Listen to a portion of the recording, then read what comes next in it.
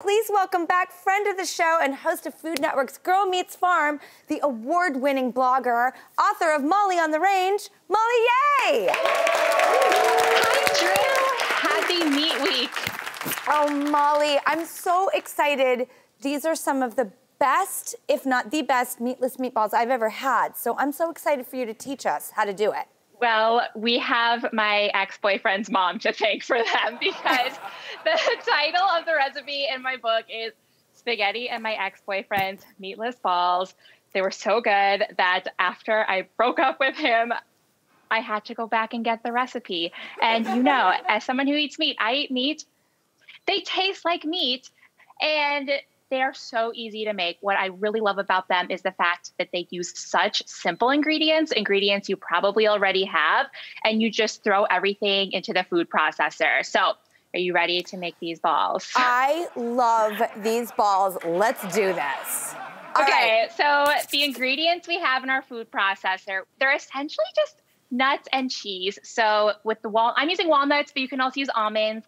It's important to toast them because it makes them crunchier and brings out their flavor.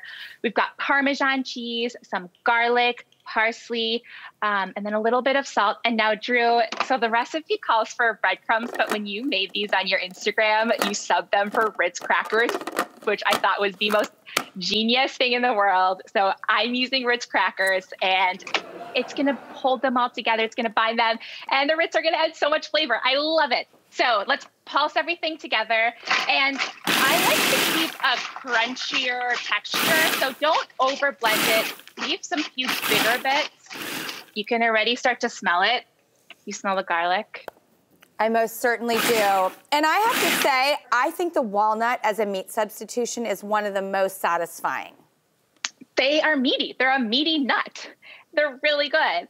Um, and this recipe, you can also change up the cheeses, change up the spices. I like to do sort of a Middle Eastern vibe and use feta and some mint and cilantro. Ooh. Or you could also add fennel and crumble the sausage onto pizza. Oh. And then it's a meatless sausage. Yeah. Um, okay, so we've got our eggs in here and the eggs bind it together. And this is it. We're just going to pulse this to incorporate the eggs now. I have to say, this was one of the most pleasurable, easy recipes to make. It was pure joy. I had pure joy watching you make them on Instagram. You know, it made me so happy. Well, we should thank your uh, ex-boyfriend. Thank you, Eric. okay, so we've got our mixture here. By the way, I have a few people I could introduce him to. You are. I saw you interview Tom Green, and you are so nice to your ex-boyfriends. I'm so impressed. I could never do that. I, you know, I, I, I, really do have a good. Thank you for saying that. I, uh, Tom especially. such a beautiful interview. Thank you. Um, are you ready to roll these balls? The key to these balls is you don't want to pack them too firmly oh, okay. because then you'll get a dense texture. So just roll them loose enough so that they hold together. And then we're going to put them into some hot oil. And you can pan fry these. You can also deep fry them too because no one said these had to be healthy. And so I have some oil here. These cook for a few minutes on all sides just until they're golden. And then you plop them into red sauce and you can serve them on a slider, you can serve them on a hoagie. You can put them out at a party with some toothpicks and then you have a fun appetizer and you can see who notices that they're fake meat. But of course, today we're going to go the classic route and spoon them over some spaghetti. Oh yeah, I'm spooning them right Just now. Pile and them I'm, right on. I think that um, just visuals and psychology is so effective as I like over serve myself. Um, and I think that the look of these meatballs, Molly, they just look so real and authentic and they taste so satisfying that uh, to me, you're not only not missing meat, I think you're getting something so much more. I mean, this really is one of my favorite dishes. It's just incredible. Beautiful. It looks so good. I mean, I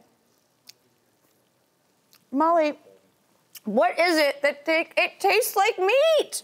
It tastes like meat. It, it tastes like meat, and they're so easy.